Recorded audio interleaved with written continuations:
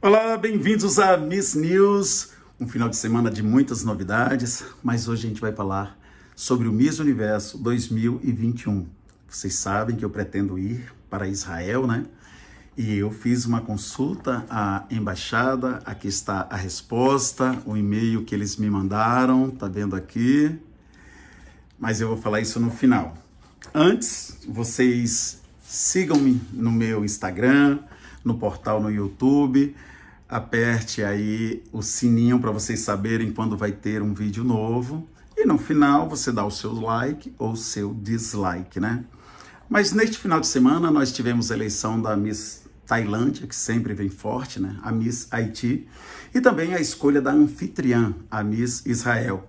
Não ganhou a minha favorita, a Tzari, né? Gaia Tzari.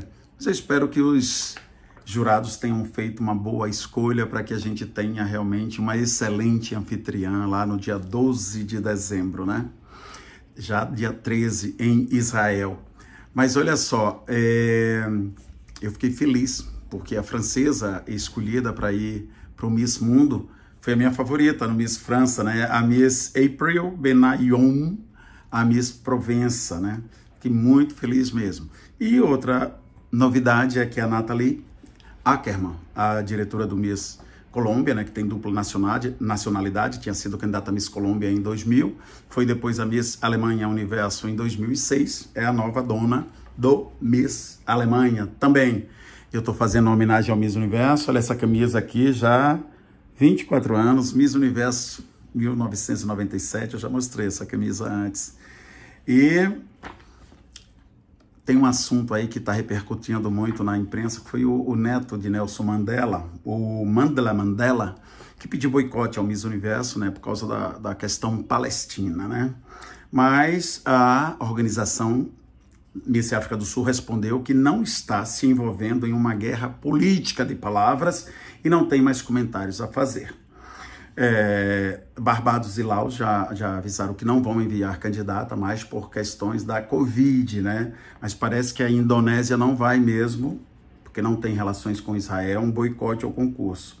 Eu espero que isso não seja uma coisa muito grave, né? Nós tivemos um, uma certa apreensão em 1988, quando o concurso foi em Taiwan, que o país não tinha relações diplomáticas com grande parte das nações, mas depois o concurso teve uma queda no número de candidatos, mas não foi uma coisa assim tão expressiva, né? Vamos ver se esse ano não vai acontecer alguma coisa grave. Vocês veem que, por exemplo, pela primeira vez os Emirados Árabes vão ter uma candidata no Miss Universo, né? Isso é fantástico. E isso foi graças ao quê? Em agosto do ano passado, Israel retomou as relações diplomáticas com os Emirados Árabes. Né? Depois disso, cada país já, já inaugurou a sua embaixada, retomaram os voos, o turismo entre os dois está sendo incrementado. Então, isso é fantástico, porque antes somente o Egito e a Jordânia tinham relações com Israel. Né? É, logo depois da, de, dos Emirados, o Marrocos voltou a ter relações né? Depois de, de, de é, e vai voltar ao Miss Universo depois de décadas, né? Décadas, né? O Marrocos está escolhendo também uma Miss para o Miss Universo. Sudão também voltou a ter relações diplomáticas com Israel. Quem sabe se a gente não vai ter também uma candidata do Sudão do Sul, de repente, por exemplo. Mas é isso. Eu espero que isso não seja problema, né? Aqui eu tô, tô vendo que o Bahrein também já, já retomou é, relações diplomáticas com Israel. E eu fico me perguntando por que os vizinhos brigam tantos, né? Tanto, né, gente? É uma coisa incrível assim. Os dois vizinhos brigam, uma cidade vizinha da outra briga, dois estados vizinhos têm rixa, dois países vizinhos, né? Poxa, coisa estranha. Justamente quem é mais próximo era de quem a gente deveria ser mais amigo, né? Vamos ver se, é, se, se a paz mundial logo vai ser alcançada, né? Outro assunto que está bombando aí é o processo contra o Miss França, né? Algumas feministas levaram o concurso para os tribunais franceses, né? Algumas delas tentaram se inscrever no Miss França e elas dizem que é porque eles usam causas é, exigências discriminatórias, como a questão da altura, não ser casada, não ter filho.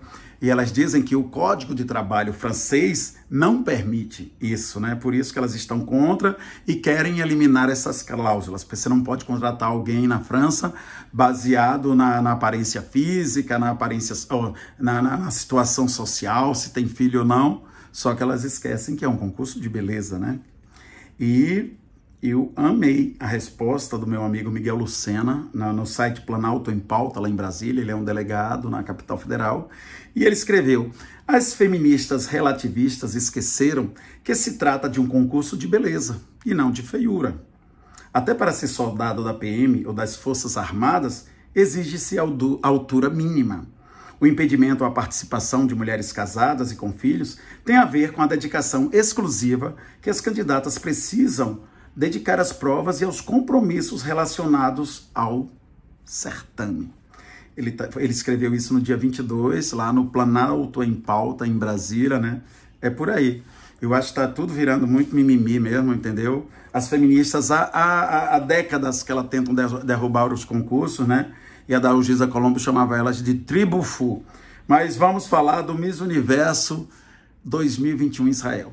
Em julho passado, eu fiz um orçamento, né? A passagem estava em torno de R$ 8.000, 8.500 reais. Fiz um orçamento agora, a passagem já está custando mais barata 10.500 reais.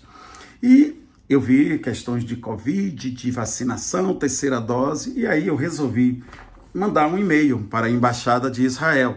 Eu fiz um e-mail para a Embaixada no dia 19 de outubro, no dia 21 eu recebi a resposta, né? Deixa eu botar aqui o óculos aqui, pessoal, uh, o, o, a, o, o, consulado de, de Israel em Brasília, está aqui assinado. É, prezado senhor Roberto, shalom. No momento, não há permissão de entrada para o seu caso, cobertura jornalística. No entanto, existe a possibilidade de que em dezembro já seja possível a entrada de brasileiros em Israel para motivos que não sejam visita familiares ou estudo. Sugiro que você entre em contato novamente na primeira semana de novembro. Cordialmente, Raquel Andrade, a consultora consular administrativa. O grande problema é quanto vai estar custando a passagem em novembro ou dezembro, é, como vai ser essa hospedagem, vai haver disponibilidade. Meus amigos todos já estão indo, meus amigos missólogos internacionais me mandaram roteiro, já o hotel escolhido onde vão ficar né? Todo, tudo que a gente vai fazer lá depois do Miss Universo. E eu vou aguardar novembro, né, para consultar novamente o, o Miss Universo para ver se vai ser possível eu ir ou não. Eu quero ir muito, porque eu estava nos 50 anos em Porto Rico, né, em São Juan, ah, em Bayamon, eu estava nos 50 anos, é, ia dizer dourado, São Juan foi em 2002 foi em Baiamão em 2001, eu estava em São Paulo em 2011 e vou amar estar em Eilat agora em 2021. Então, deixe o seu like, o seu dislike. Muito, muito obrigado por estar me vendo aqui no meu canal, aqui em Miss News, e um abraço para todos.